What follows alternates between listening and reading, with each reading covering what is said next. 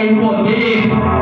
Tu és adorado com fidelidade e honra, pois tu és o nosso destino, a derrota da ignorância, o fim de toda caridade e a abstinência.